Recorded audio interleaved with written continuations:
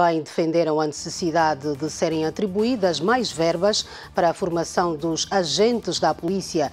Nos últimos tempos, vários agentes têm estado envolvidos em violência contra populares. Os deputados atribuem a situação à falta de formação.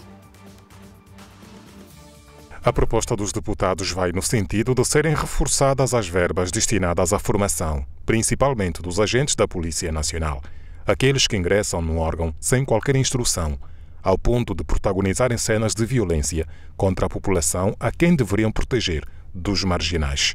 Precisamos formar a nossa polícia para que possam ter um melhor desempenho nas suas funções com o público, muitas vezes marcada com muita violência como que vem ocorrendo nos últimos dias com perdas de vidas humanas.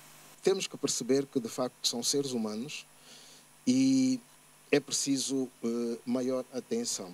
A preocupação também se estende às Forças Armadas angolanas. Os deputados entendem que o investimento na defesa nacional deve continuar, mas será preciso definir que Forças Armadas pretendemos ter. Os países que hoje são respeitados a nível do mundo apesar das dificuldades, apesar dos desafios de ordem económica e social, não deixam de investir na área da defesa e segurança.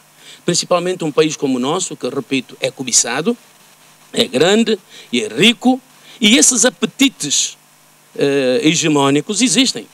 E temos que estar prevenidos. Continuamos a realizar um orçamento sem saber que forças armadas nós pretendemos ter. A lei de bases da defesa nacional e das forças armadas é extremamente importante. E eu acho que devemos exigir ao Executivo que 2021 seja enviada à Assembleia Nacional a Lei de Base de Defesa Nacional das Forças Armadas. Só a partir daí é que nós podemos elaborar todo outro, o pacote legislativo que orienta, orientará o funcionamento total de, da defesa nacional. A qualidade de muitos agentes é a causa da violência que cometem contra o cidadão comum. Disso sabe o Ministério do Interior, porém tem dificuldades em ultrapassar o problema. É preocupação do Ministério do Interior e, particularmente, dos seus órgãos executivos centrais, com destaque para a Polícia Nacional, a formação dos seus efetivos. É uma preocupação permanente.